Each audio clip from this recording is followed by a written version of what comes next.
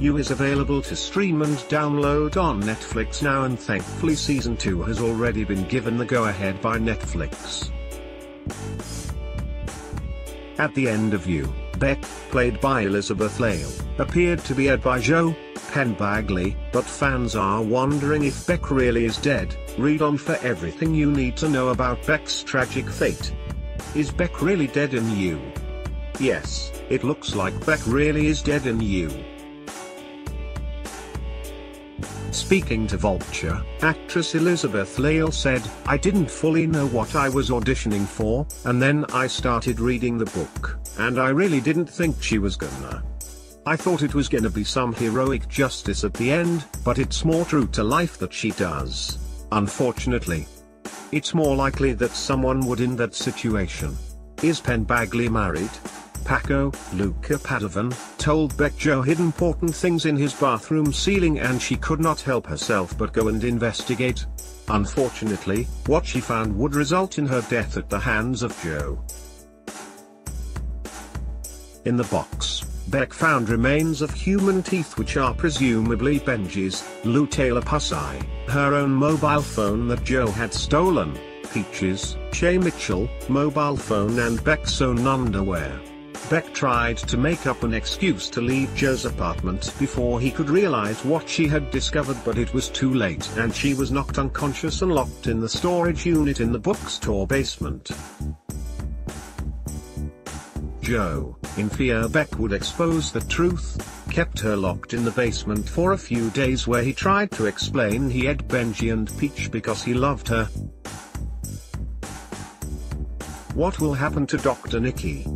In an attempt to trick Joe into setting her free, Beck wrote a memoir detailing everything that happened, framing her therapist Dr. Nikki, John Stamos, for Joe's crimes and, including her eventual death.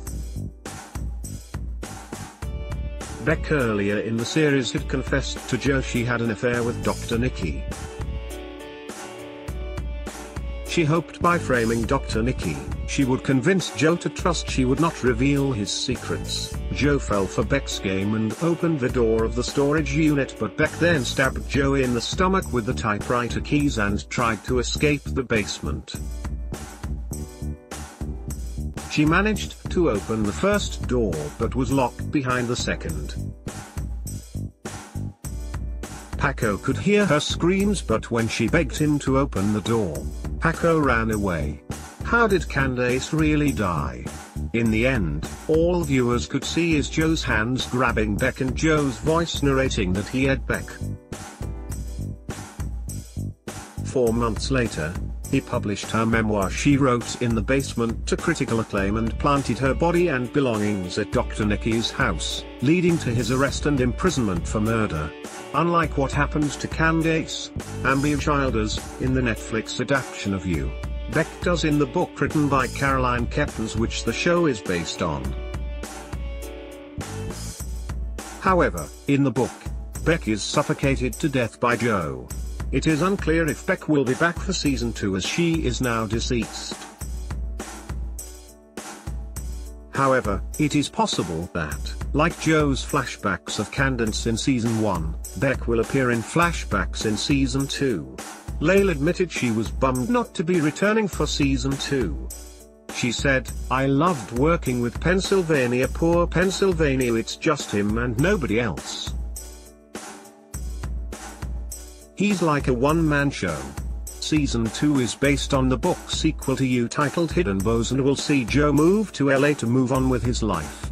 However, Season 2 will also delve deeper into Joe's past so surely Beck is going to play a huge part in that. You is on Netflix now.